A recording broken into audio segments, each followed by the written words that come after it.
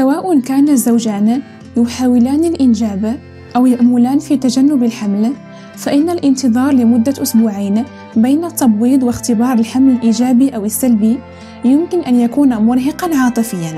بينما تجد بعض النساء أنهن لا يعانين من أي أعراض للحمل المبكر على الإطلاق فإن أخريات يعانين من الغثيان والتعب والتهاب الثدي ومجموعة من علامات الحمل المبكرة الأخرى.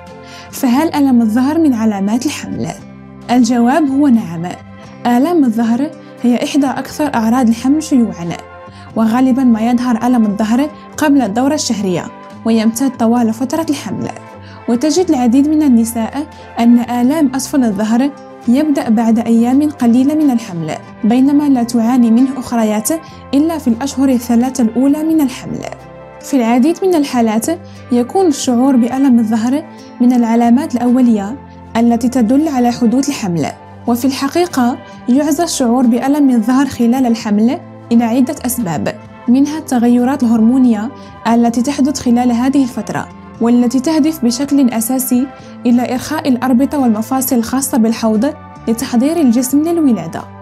ومن الأسباب الأخرى التي تفسر الشعور بألم الظهر خلال الحمل تغير مركز الجاذبية في الجسم والذي يحدث عادة عند تقدم الحمل.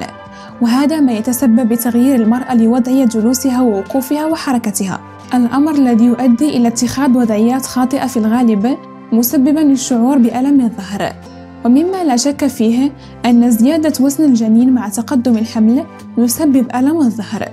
وأخيرا يعد التوتر والتعرض للإجهاد العاطفي بالإضافة إلى الانحناء والوقوف لفترات طويلة من العوامل التي تزيد ألم الظهر سوءا وخاصة أثناء الحمل.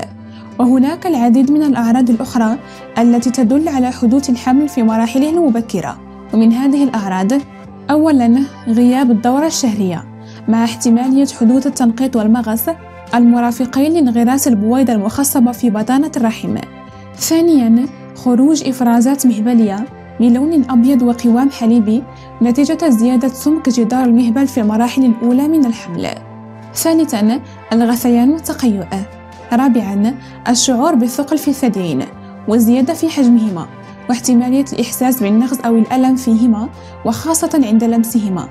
ويجدر بالذكر أن الحمل قد يسبب تغير لون المنطقة المحيطة بالحلمات لتصبح أغمق. خامساً الشعور بالتعب والإعياء العام. سادساً كثرة التبول. يمكنك منع آلام الظهر أو تخفيفها خلال فترة الحمل. ولتحقيق ذلك يجب مراعاة بعض الأساليب للتخلص من آلام الظهر أثناء فترة الحمل.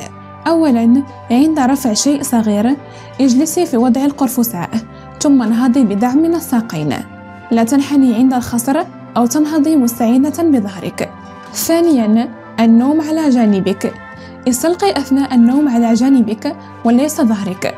احرصي على ثاني إحدى الركبتين أو كلتيهما. يمكنك التفكير في استخدام وسائل الحمل بين ركبتيك المثنيتين وتحت بطنك وخلف ظهرك. ثالثا جرب السخون والبرودة والتدليك. رغم أن الأدلة الداعمة لفاعلية هذه الوسائل محدودة إلا أن التدليك أو وضع كمادة تسخين أو كيس ثلج على ظهرك قد تفيد.